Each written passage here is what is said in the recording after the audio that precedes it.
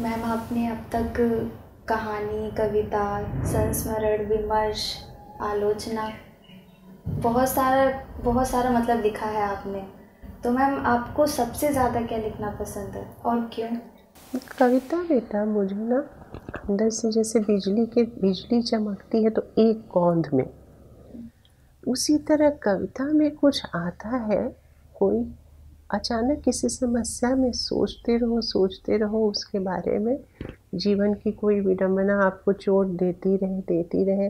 अचानक एक कौंध में उसका कोई मतलब समाधान भी नहीं कहूँगी, लेकिन कोई कोई चित्र कौंध जाता है, जिससे कि संतोष होता है कि चलो, ये जो जीवन की विडंबना मैंने समझी थी जैसे समाज में ऊंच नीच की संरचना है, किसी को ऊँचा कहते हैं, किसी को नीचा कहते हैं, ये मुझे बहुत दिनों से तकलीफ़ दे रहा है बचपन से भी और इसकी चेतना पिताजी माता ने जगाई ही थी कि कोई अमीर, गरीब, दलित, गैर दलित, स्त्री, पुरुष, श्वेत, अश्वेत, ये जो घेरे बंदियाँ हैं और उसमें एक को अल्पसंख्यक और बहुसंख्यक ये सब बनाई हुई घेरेबंदियाँ हैं। इसमें कोई ऊंच नीच जो लगातार ही समझता है कि कोई किसी ख़ास वर्ग का है या किसी ख़ास जाति का है या ख़ास लिंग का है या ख़ास नस्ल का है या ख़ास धर्म का है तो वो हमसे निकृष्टतर है। ये जो भाव पूर्वग्रह है, ये मुझे बहुत दिनों से कष्ट देता था। इन दिनों इसको पॉलिटिक्स ऑफ़ अदरिंग कहने लगे हैं। हमारे समय में हमें उसकी चेतना नहीं थी कि इसका ये शब्द अभी नया था, लेकिन मुझे तकलीफ़ होती थी कि सबसे एक तरह का व्यवहार क्यों नहीं होता? सबको एक तरह के अवसर क्यों नहीं मिलते? सबको एक तरह के संसाधनों में हिस्सा क्यों नहीं मिलता? ये मुझे कॉलेज तक आने में अपने भैया से भी बातचीत करते हुए जो जेएनयू में पढ़ते थे और इन सब मुद्दों पे बहुत जग जग के सोचते थे आ, उस समय से बातचीत होने लगी थी जिस समय जयप्रकाश आंदोलन छिड़ा था और आपातकाल लगा था तब मैं स्कूल में थी लेकिन भैया से उन पर गहरी चर्चाएँ होती थी मेरे राजनीतिक प्रशिक्षण में। मेरे भाई का भी बहुत हाथ है। तो उन्होंने ही जयप्रकाश नारायण का एक भाषण सुन के वो घर आए थे। तो उन्होंने कहा था कि देखो, तुलसीदास की एक की एक पंक्ति का जो भक्ति में कही गई है इन्होंने कितना सुंदर विनियोग किया है। ये कहते हैं, अबलो नसानी अपना नसई हो। और आपातकाल के समय कहते हैं कि अब अब तक मैं नष्ट हुआ, लेकिन अब नहीं, अब हम और नहीं बर्दाश्त करेंगे। अब एक धार्मिक उक्ति को राजनीतिक संदर्भ में उसका भाष्य करके उसका अर्थ कितना खोल दिया गया। इस तरह की बातें मुझे धीरे धीरे समझ में आने लगी। तो फिर मैं कविता में इस विडंबना पर जब सोचती थी तो मुझे कुछ चित्र दिखाई देते थे और एक कौंध की तरह दिखाई देते थे, जब मैं उन और मैं देखती थी कि वो रूपक की तरह बन गए। जो मैं सोचती थी कि भेदभाव की संरचना ढहे तो जो रूपक और बिंब मुझे दिखाई देते थे, वो मुझे, उसमें भी मैं देखती थी कि ये लोग और वो लोग ऊँचा और नीचा कॉस्मिक और कॉमन प्लेस ब्लैक पर्सनल और पॉलिटिकल एक हो रहे हैं, एक धरातल पे बैठ जाते हैं। तो मुझे बहुत संतोष होता था कि मैं जो कहना चाह रही हूँ, वो मेरे शिल्प में प्रतिबिंबित हो रहा है। तो कविता मुझे लगता है कि मुझे संतोष बहुत देती थी।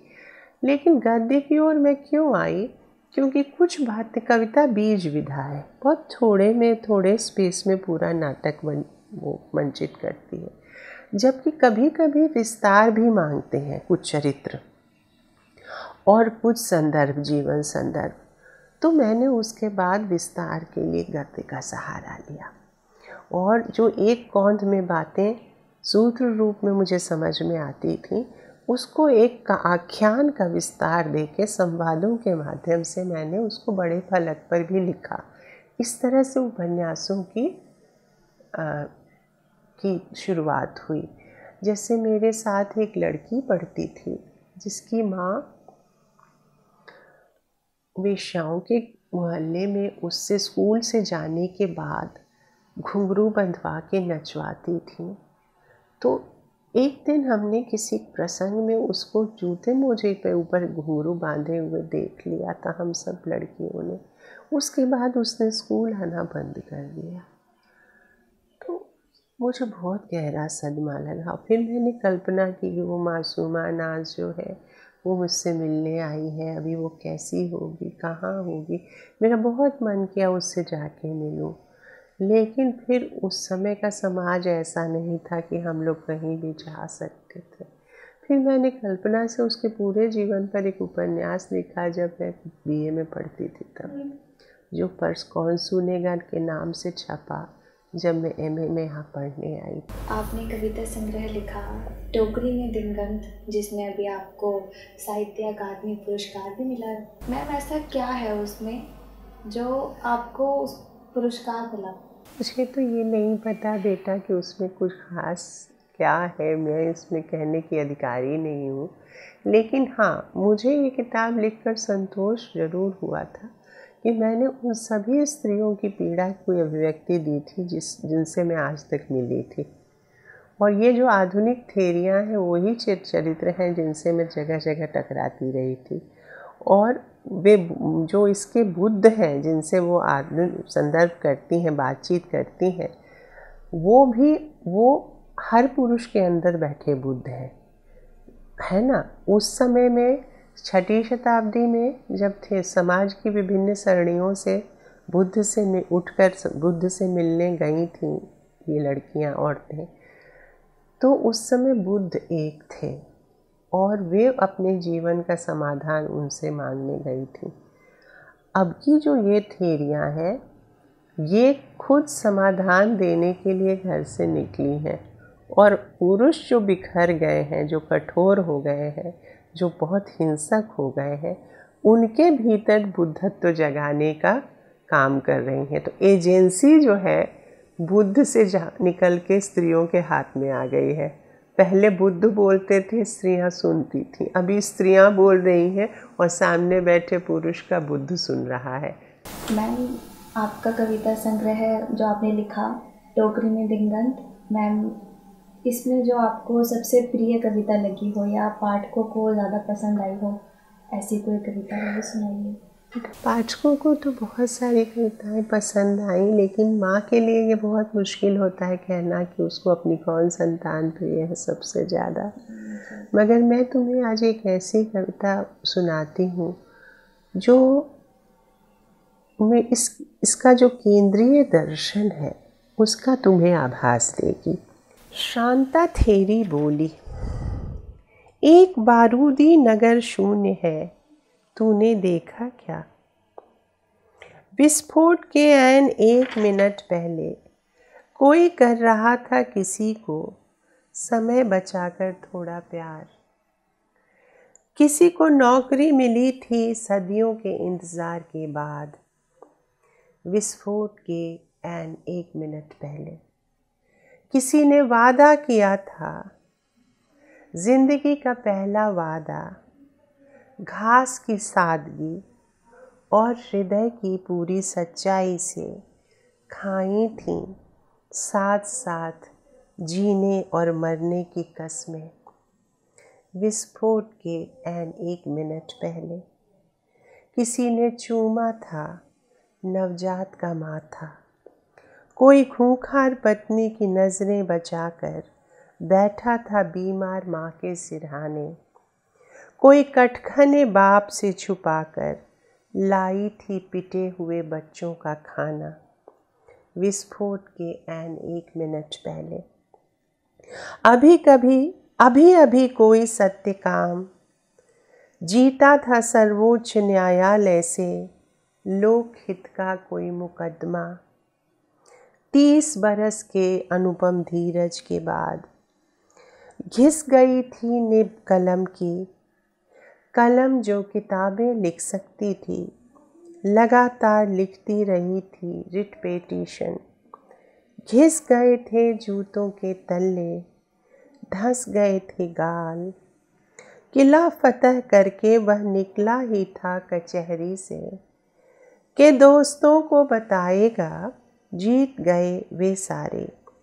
पहला ही नंबर घुमाया था विस्फोट के, एन एक मिनट पहले। ऐसा नहीं है कि विस्फोट नहीं चाहती। मैं चाहती हूँ विस्फोट, लेकिन कुछ दूसरी तरह का। बुद्ध जहाँ जन्मे या बुद्धत्व जहाँ गया, उन देशों को बुद्ध की ही करुणा की कसम देती। चाहती हूँ विस्फोट, एक प्रज्ञावान, प्रतिबद्ध, अहिंसक किंतु अटल और सामूहिक विस्फोट। इस आलसी और महाधूर्त धैर्य के खिलाफ, जो बर्दाश्त करता है सब कुछ तो बस इसलिए कि आराम में नहीं पड़े कोई अड़चन। टू मिनट्स प्लीज़ ही जिसकी है काल संचेतना। उसका तो होगा ही ना। धमाका तत्व दर्शन बहुत अच्छी कविता सुनाई मैम आपने। मैम, आपके जीवन के अब तक के सफ़र में कई ऐसी घटनाएँ घटी होंगी, जिन्हें याद करके आपको बहुत दुख भी होता होगा और कुछ ऐसी घटनाएँ होंगी जिन्हें याद करके आपको बहुत खुशी भी होती होगी। तो मैम, ऐसी कोई घटना है तो हमें बताइए। दुख मुझे तब होता है और ये लगातार होता है जब कोई किसी को नीचे धकेलना चाहता है या गलत समझता है। बिना पर्याप्त प्रेम से देखे किसी के बारे में अभद्र टिप्पणियाँ करता है या उसको दुख देना चाहता है और इससे वो पूरे परिदृश्य को, पूरे परिवेश को एक तरह से विषाक्त कर देता है। जैसे पर्यावरण में अभी लगातार जहर के जीवाणु डोल रहे हैं, उसी तरह से जब कोई किसी को, किसी के साथ मानसिक, वाचिक और वास्तविक हिंसा करता है तो पूरा परिवेश आंदोलित हो जाता है, गलत ढंग से वो काँप जाता है। क्योंकि इस समाज में जैसे अंतर्जाल है यहाँ चोट पहुँचेगी, उस सिरे पे कंपन होगी। दुनिया में सब लोग जुड़े हुए हैं। एक अदृश्य जाल है ये, संवेदनाओं का। तो हम नहीं जानते, जब भी हम ऐसा कोई हिंसक कृत्य करते हैं तो कहीं पूरा परिवेश विचलित हो जाता है। और ऐसी घटनाएँ तो घटती ही रहती हैं, क्योंकि बहुत अहिस, अजब है ये परिवेश। जो प्रेम से, धीरज से किसी को देखोगी ना तो उससे नफ़रत कर नहीं पाओगी। चूँकि प्रेम से, अधैर्य से और धैर्य से किसी को कोई देखता नहीं तो वो अक्सर उसको उसको अभद्र टिप्पणियाँ करके तकलीफ़ पहुँचा कर और स्पर्धा में, स्पर्धा जीवन का सही शब्द नहीं है, सहकारिता है। हर फूल अपनी तरह से सुंदर है। बगीचा हर तरह के फूलों से बनता है। गुलाब अगर कमल से स्पर्धा करने लगे और उसकी टांग खींचने पर उतारू हो जाए तो उसकी अपनी खिल, उसके अपना अपना खिलना भी उसका बाधित हो जाएगा। सबको खिलने का अवसर मिले तभी आप संगत ढंग से खिल सकते हैं। सब तरफ़ हिंसा होती है, वाचिक हिंसा भी बहुत होती है, सचमुच की हिंसा होती है, वो मुझे दुखी करती है। जानना ही मानना है ऐसा मैं समझती हूँ।